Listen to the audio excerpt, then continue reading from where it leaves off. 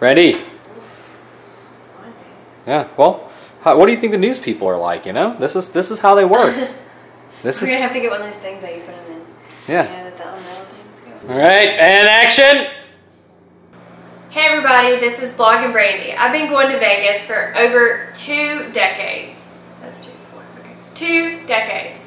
And I love telling everybody about some of the fun stuff that I find in Vegas because I get a ton of questions about how, how do you not spend so much money and where are the fun places to go. So I figured I wrote six tips and I wanted to share them with you about how do I go to Vegas on a budget and get the best food at the best prices, see some of the coolest shows, and do some of the funnest things um, that I get to bring and share with you all the time. So my first tip for going to Vegas is to make sure that you only gamble at the local casinos. Normally they're off the strip.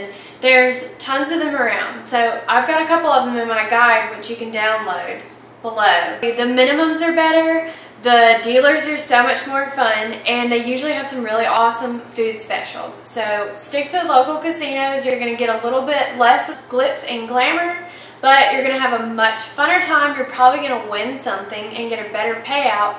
Or if you're losing, you're at least going to have fun while you're losing. Tip number two for going to Vegas uh, never pay for drinks in Vegas. That means even if you're paying for alcohol, it's all free and it's all included. From the cocktail waitresses, whenever you're gambling, as long as you're gambling, whether it's at the tables or at a slot machine, you're going to get service for drinks. You can get coffee, you can get wine, you can get water. My favorite is sparkling water. To anything but mixed drinks because you don't know who's making them. So make sure and stick to wine, beer, coffee, water, um, or you can get straight shots if you really want to go that route. The cocktail waitresses, tip number three for doing Vegas on a budget is if you want to get a five-star meal for $5 price tag, make sure and check out the happy hour specials at the restaurants. I'm including some of my favorite ones in my guide down below.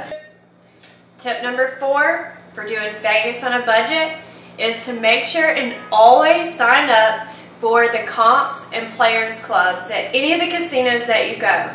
Even if you're only gambling for a little while, they take into consideration how much you're gambling and the time that you're gambling, but you get all kinds of free stuff from hotel stays to free money to play with, and I've even gotten plane trips for them to fly me out there, transportation. If there's an event or attraction at that hotel, you can always score those tickets free too. So just for signing up, you can score all kinds of free swag. Tip number five for doing Vegas on a budget is never pay full price for event or attraction tickets. There's tons of discounts that you can go from Groupon. Venues out there will offer if it's close to the date, either the same day or maybe 60, 30 days out, you can get the tickets for half price. There's locals that'll go out and actually purchase the tickets and they offer some of them online. I'd also check out the casino comps and players clubs because if it's offered at the casino or a property of the casino, you could actually score some tickets maybe free off your players club points for what you've actually gambled at the property or you could score them at a really discounted rate. Um, you're already paying to play there so you might as well get something back for it.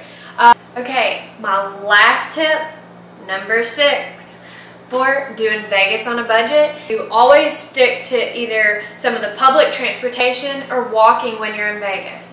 I never take the taxi cabs. I've made this mistake and they charge you per rider. Uh, I don't usually take a lot of taxi cabs, but to me, I'm not going to pay per rider. If you have four people, it adds up. Uber or Lyft, I've taken Uber. It's a great experience. They also have Uber X.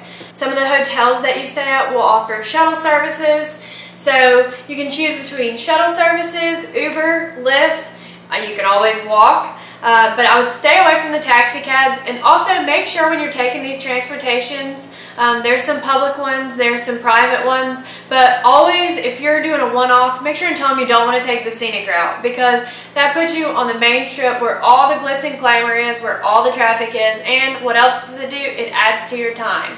So if you tell them, hey, I don't want to be on the scenic route, just get me there the fastest way, they're going to take you on the highway or one of the back streets, and trust me, you're in Vegas there's not going to be anything that you're missing. There's always something fun and maybe crazy going on in the side streets of Vegas too, but just stick to that. You're going to save some money and you're going to get to your destination as fast as possible. So don't forget to download my free guide to how to do Vegas on a budget. Don't forget to subscribe to my YouTube channel, like my videos, share them on social media. You can find me anywhere at Blogging Brandi and join my email list, which I'm including the link to below